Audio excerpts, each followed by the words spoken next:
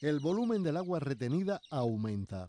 Es un momento antecedido por un mayo que reportó lluvias de un 103% de la media histórica, con énfasis en la segunda quincena.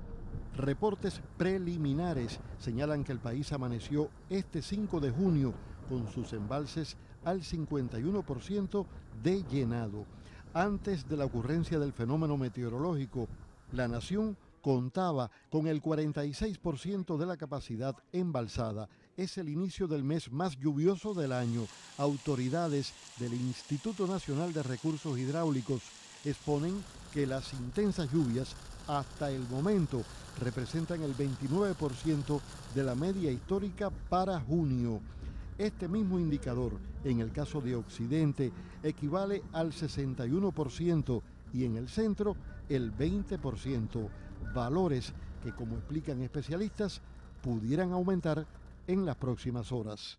El agua que va por la superficie, nosotros le decimos que es el, escurrimiento superficial, esta es la que llega por el río y se almacena en, nuestros embalses. Y en esto, bueno, dependerá ese tránsito de, eh, contará de algunas horas o algunos días.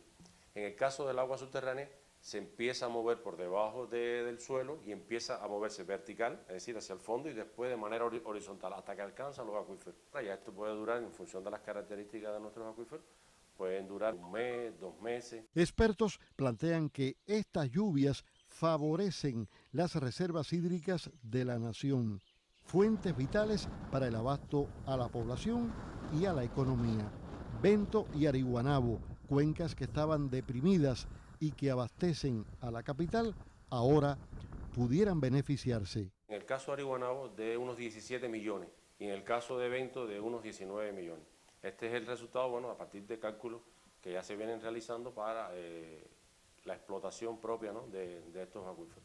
Este domingo, especialistas y directivos de la gestión hidráulica mantienen permanente vigilancia al tema hidrometeorológico.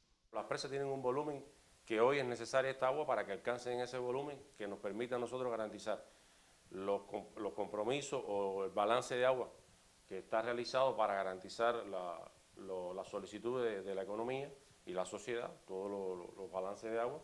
Y esto nos, también nos viene a incrementar volúmenes que van a estar retenidos en estos embalses que nos van a permitir ya tener una cierta garantía para el año que viene. Gestión hidráulica con seguimiento pleno al periodo más lluvioso del año que coincide con el comienzo de la temporada ciclónica. Bernardo Espinosa, Sistema Informativo de la Televisión Cubana.